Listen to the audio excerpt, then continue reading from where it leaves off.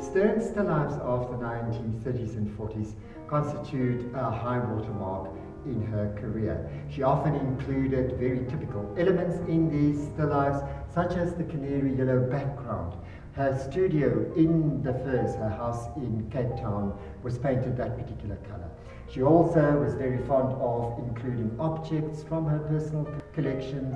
These were collected on her extensive trips throughout Africa, for example, uh, and then also uh, the foregrounding of uh, this particular area that seems to be jutting out to into the space of uh, the viewers.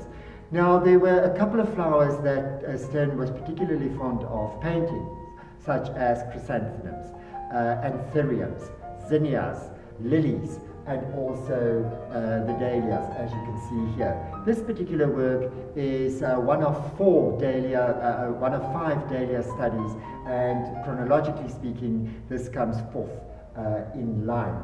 Um, she, of course, filled the picture plane with these uh, dahlias in full bloom, very colorful, and she puts it in this Chinese uh, uh, vase, and she also includes uh, Zanzibari frame. Stern painted this uh, wonderful still life after visiting Zanzibar in 1945. Her first visit there was in 1939.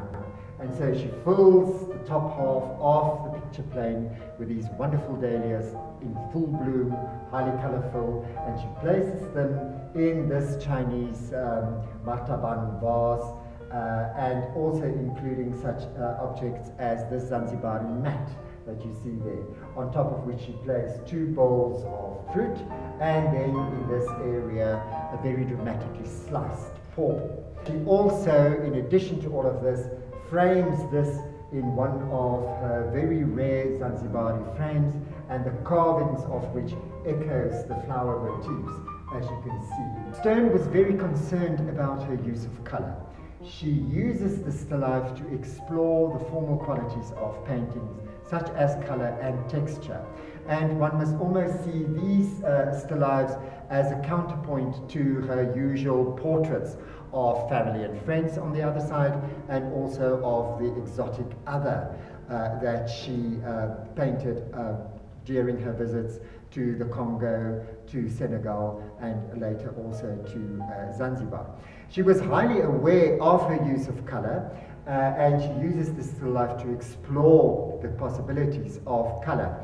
As early as 1930, in, uh, in an exhibition, she noted that uh, her paintings of these um, uh, uh, figures all look the same. They're all brown with a bit of red or ochre, and she decided that her paintings, uh, her flower still lifes, was uh, the medium in which to explore uh, these uh, wonderful color combinations.